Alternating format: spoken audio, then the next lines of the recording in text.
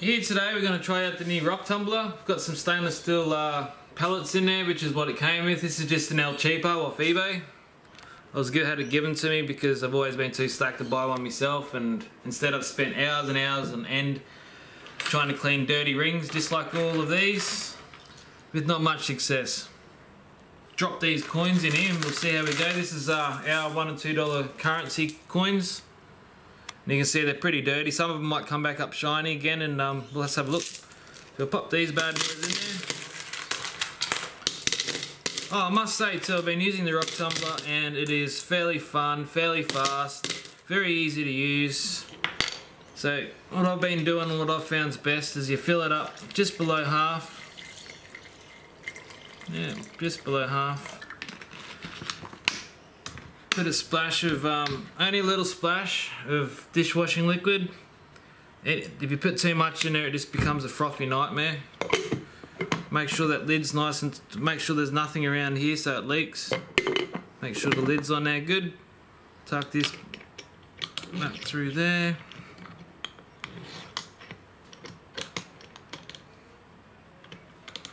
And that there tightens the lid up. So you can push it straight onto here and hit. That's the timer there, which is basically your go button. It's on currently on pause. If you hit that button, it'll rotate backwards and then forwards, but I like it just going one way. Maybe it will help the engine life. And then I'll take it off pause and we'll go. Looks like a hamster wheel. Alright. Had two one hour sessions and it's been sitting in its second wash. First session was an hour session, second session was an hour session, and this is how dirty the water's got. This is the one and two dollar coins. I'll show you how I've found the best way to do this is, is um, simply just slip that out, let that drop down on the ground, run it through the strainer, see how dirty this water is. As I said, two hours to get them to where they are now. That water is filthy. I'm liking look at that.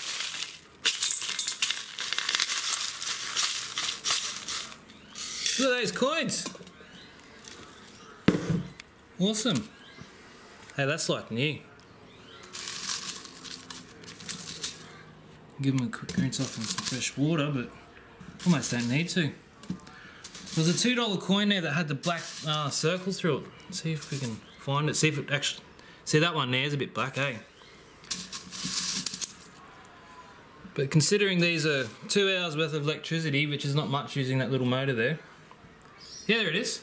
It didn't even wear off the paint. Same one on that one. And the rest of them are 100% like new, nearly. I don't even see one worn one in here. Remember this. I tried cleaning this by hand. You can see how I couldn't get into the, the back sections. And it looks rusty. That is silver. Each third link's actually stamped silver. It's fairly old. And that was the best I could clean that by hand. And that, I was hours at that. And I reckon if I put that in there, that'll turn out just like this. And that was only 15 minutes in there. So let's have a look. In goes that. In goes the rings and Ooh. chains and lockets and pendants and rings with stones in them. I haven't had any problems yet with rings with stones in them. I probably will here, but we'll soon see. Why can't you put the coins in there as well? Well, it's a three kilo. Yeah, I'll throw a couple in there. I don't see why not. There's not a um, well, you reckon them coins are of the same standard? Yeah, why not? million. This will be an interesting wash. Alright, this is all I'm going to put in it. Half it with water, a little bit of a splash with that. It's half of it. I'll probably give it a wash out in about an hour and then another wash out later on tonight. And I'll show you guys tomorrow after it's had two, maybe three one hour sessions and so hopefully we've got some nice clean coins and some nice variable jewellery. Right, we'll pop the lid on. It's pretty easy, I don't mind this little tool, eh?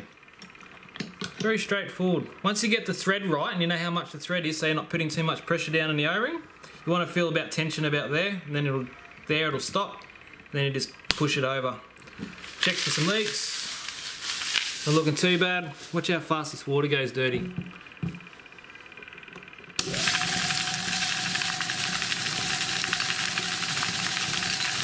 changing already.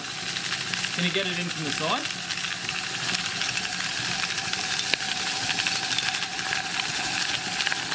We'll slow that down anyway, that's too fast.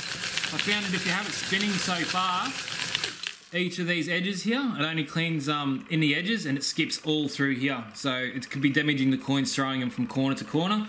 So for things like coins and stuff you don't want to damage, maybe different for rocks, you just want it to go slowly, it'll roll around in there. And you can see it sort of is actually rolling around in there. I like the fact that he uses a band. Yeah, it's not too bad. It comes with a replacement band and it comes with a replacement O-ring as well. Okay. We left that spinning last night. it's probably had about three hours, about three hours washing. So it's about three washes that I've put it through. This um, the fourth. Uh, the water's not getting very dirty anymore. It's that silver. All right. Let's have a look at everything. There's still a coin in the bottom there. Oh, don't do that. Still three coins in the bottom. Hmm. Let's have a look at what we got here. I'll lay it all down here. So yeah, I'm very, very, very, very happy. Well, there's another chain. Oh, this is the chain I was talking about. This is the one that's got the little stamps on each second or third link, saying 925 or something. That come up very nice. That's a very old chain too. It's got hallmarks of a lion and stuff on it. That one there. Shows the true beauty of silver when it's clean, doesn't it? Yeah. Well, it's not even polished. That looks pretty good in there too. Look at that. Yeah. This is all dirty silver. So I'm very happy. It saves me a lot of work and yeah, thumbs up to the rock tumbler. We're gonna try these ones here next. All this dirty silver, which is even dirtier. I'll pop, pop, just pop it in there. What the hell? This is all the really, really filthy, filthy silver, even broken up bits. So, you can see that. I'm gonna get a nice picture of that. It's absolutely really nice. I could do a bit of sorting there. Actually, another cool thing I'll show. Um, oh look at that. See these little rings here? If you do do the hobby for long enough, you end up with a lot of these little heart rings with little stones in them, eh? I have got, I could not even imagine how to tell you how many of these things that I've picked up over, or how many of these things we have picked up over the years. They just keep coming and coming. Very popular ring, I suppose. Made a lot of them.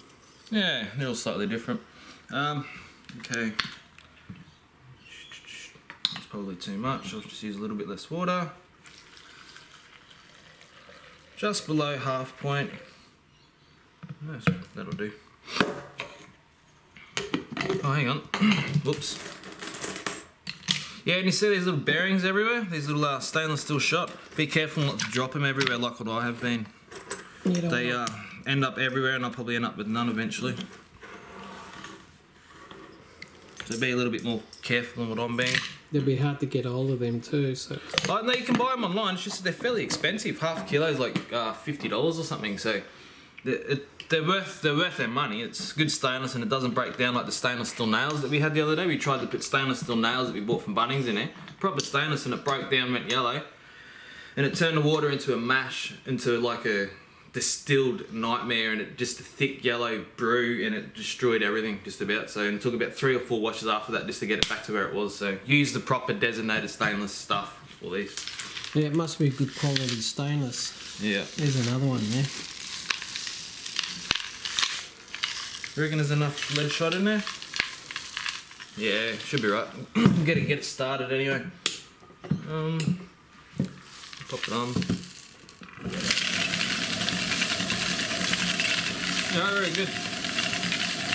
Here was some filthy black silver here, and um, it's probably clocked up so far. Sold 10 hours of use. This uh, little device here, and I'm having no problems with it. It seems to be running really good, and it's doing a really good job cleaning everything to a high level. Like those spending coins there, they were all unusable. They're unspendable, and definitely wouldn't have been acceptable for the bank to um, to accept any of them. All these pennies were ready for the bin, and uh, now some of them you might look like actually worth keeping. Not all of them, but some of them. All this was filthy black rubbish. It was all ready for the bin, all ready for melting down. anyway, we'll have a look. This is pretty much the final wash. It's still fairly dirty, but final wash on even dirtier, dirtier silver than that. Let's have a look what we got.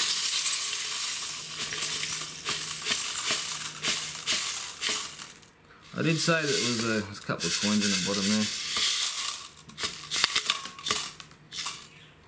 Just thinking about doing that. Um, yeah, so here we go. Oh, look at that. Isn't that pretty?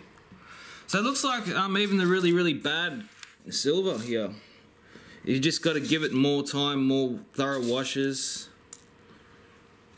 And uh, it looks like it comes up almost just as good as... Well, you can see how worn it is. That's not from being in a rock tumbler. That's just from being worn because it's been found on the um in the salt water. This chain was something that I was really curious to. Uh, it's a nightmare of a mess. Anyway, that chain's very nice. A couple of chains there.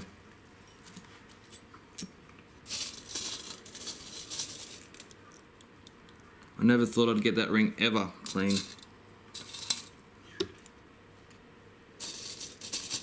Yeah, so if you guys have been metal detecting for a few years out there and is have got a big collection of black silver and is have never really been able to successfully clean it, um, this is uh, definitely give this a shot. Um, it'd be crazy not to because I've tried all the different so different methods. Hey, that's heavy. I wonder if that's silver.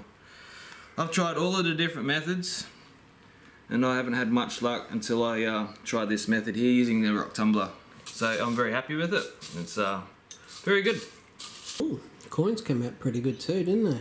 Yeah, they do get shiny and then they tarnish a little bit. I'll notice that with the dollar and two dollar coins, but It's about what fifty dollars there or something. I think there might have been more than that. Not 100? sure. Yeah, maybe. And they're really old pennies. Yeah. And just, you know, remember guys, all of these coins and stuff, they're not of valuable dates, they're not of a high quality. These are all things that I thought was genuinely ready for the bin. So this stuff here, the silver and the pennies, all of it, none of it's valuable, none of it's special dates. It was all stuff that was going to get thrown out. And this has just absolutely amazed me because it proved that you can re get life out of them again. Yeah, Very nice. Yeah. Okay, yeah. Cool.